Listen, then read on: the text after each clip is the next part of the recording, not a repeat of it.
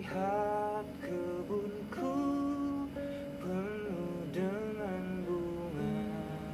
Ada yang putih dan ada yang merah. Setiap hari kusiram semua. Mawar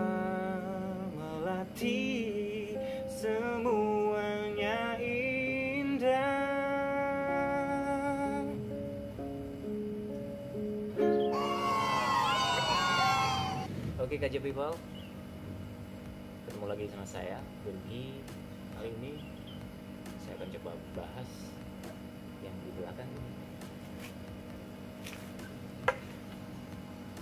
Saya akan bahas Cara memaksimalkan Bahan yang sempit Untuk dijadikan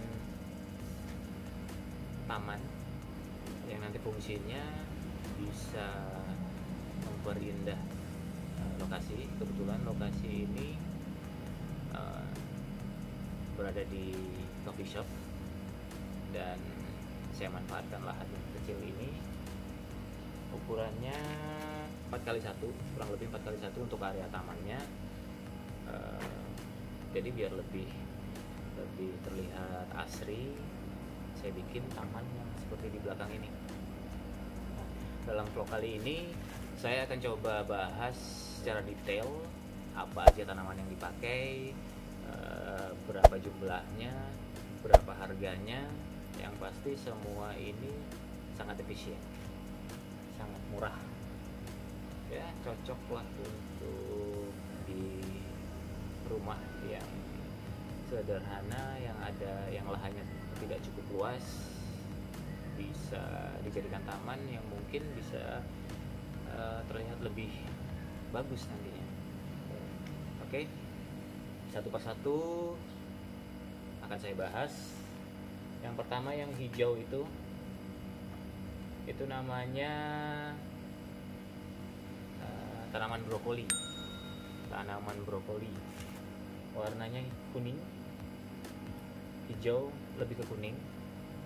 Satu packnya itu satu bijinya itu harganya 15.000 tapi tidak berpatokan mungkin di daerah kamu lebih murah. Eh, harga ini eh, harga di kota saya saya pakai melingkar gitu butuh butuh 6 butuh 6 berarti 15 kali 6 60 90 ribu. Itu tadi brokolinya. Dan yang tinggi ini yang warna merah itu namanya tanaman puring. Harganya cukup murah.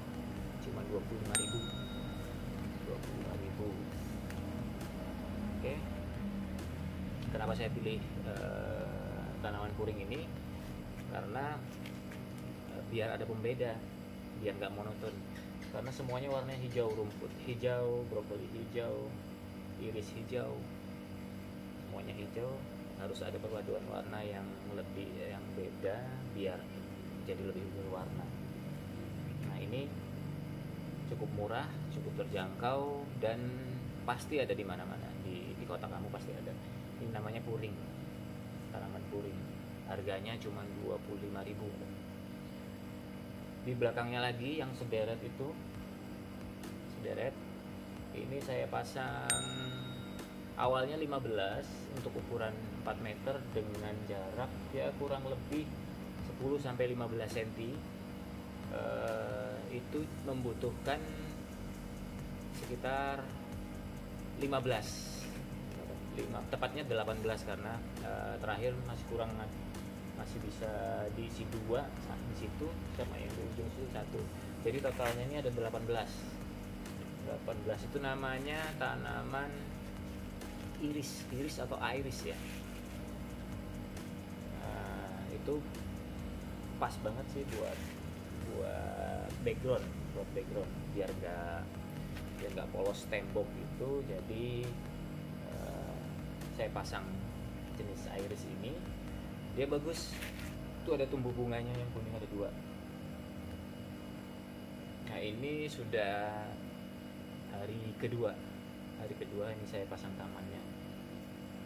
Itu harganya 5000 satu packnya 5000 jadi kebetulan saya beli sekitar 18 itu eh, dikasih coating jadi kasih coating 1000 jadi 4000 4000 uh, jadi kalian kalau mau beli di toko bunga bolehlah tawar ya biar lebih uh, irit. Kan lumayan.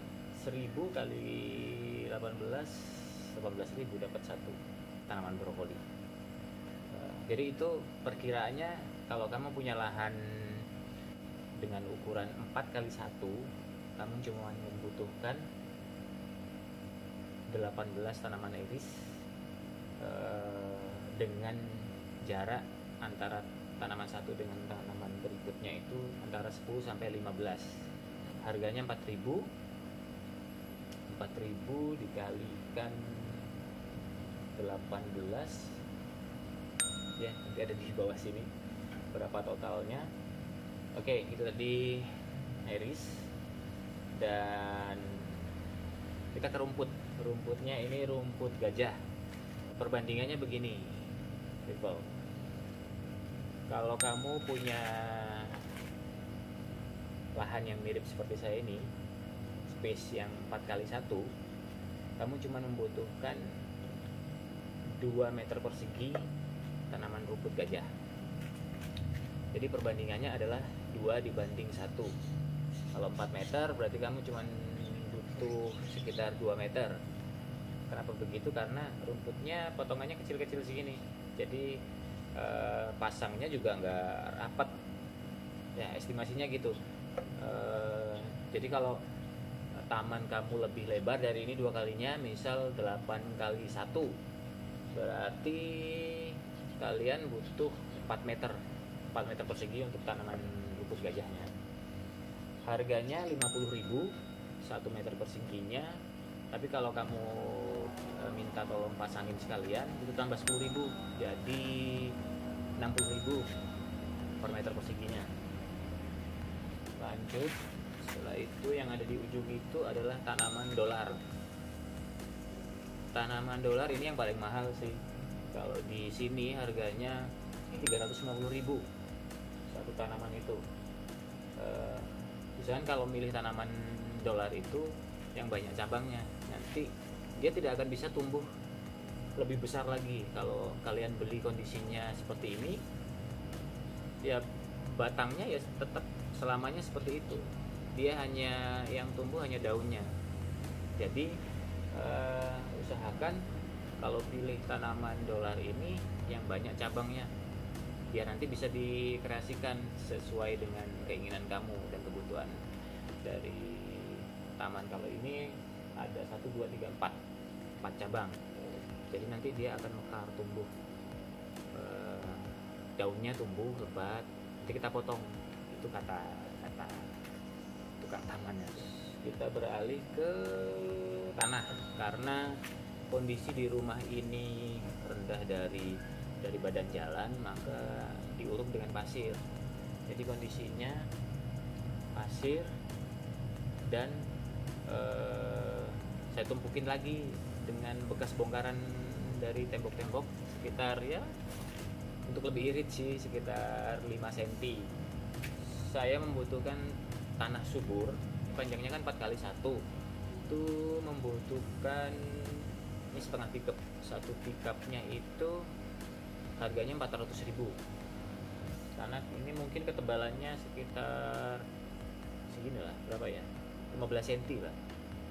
Jadi kalau kalau kamu punya taman yang mirip ini kamu cuman butuh uh, setengah pickup untuk tanah subur. Tapi ini berlaku kalau uh, kondisi dari taman kamu memang tanahnya kurang subur. Tapi kalau kalau sudah subur ya nggak usah dibeli mungkin cuma dibeli pupuknya aja kali lah. Perbandingannya adalah dengan ukuran taman 4 kali 1 dan ketebalan 15 cm kamu cukup membutuhkan tanah subur setengah pickup saja. Ya ini saya bikin cor untuk tempat bisa dijadikan tempat duduk atau meja. Karena ini coffee shop nantinya saya kepingin ini lebih lebih adem lebih asri. Dan saya fungsikan juga di sini bisa duduk-duduk di sini sambil ngopi. Masih terlihat luas ini sangat sangat murah sekali. Sangat murah tapi hasilnya sedikit berbeda sedikit lebih luas lebih bagus lebih asri. Uh, kenapa saya bikin simple gini? Karena sesuai dengan kebutuhan. Mungkin kalau kalian uh, kebutuhannya untuk taman di rumah bisa di ditambahin lagi jumlah varian tan tanamannya. Tapi karena ini adalah coffee shop uh, jadi saya nggak mau yang terlihat rame terlihat penuh full nggak saya ingin inginnya ini masih terlihat uh, tidak kering tapi uh, masih terlihat luas tapi asri. Nah beginilah uh, terlihatnya uh, taman kecil dari coffee shop saya. Ini saya manfaatkan uh, semoga ide uh, taman mini ini bisa menginspirasi kalian yang lagi butuh inspirasi untuk bikin taman kecil untuk di rumah atau di coffee shop uh, kalian semua. Oke, okay? itu tadi sekilas penjelasan tentang proses pembuatan taman yang mini ini dengan budget yang uh, murah sekali. Semoga video ini bisa menginspirasi kalian semuanya, khususnya buat kalian semua yang lagi uh, membangun sebuah taman untuk di rumah atau coffee shop. Terima kasih, sampai jumpa kembali di vlog selanjutnya. Jangan lupa subscribe, subscribe biar saya lebih semangat lagi untuk bikin video yang lebih bermanfaat untuk kalian semua. Thank you.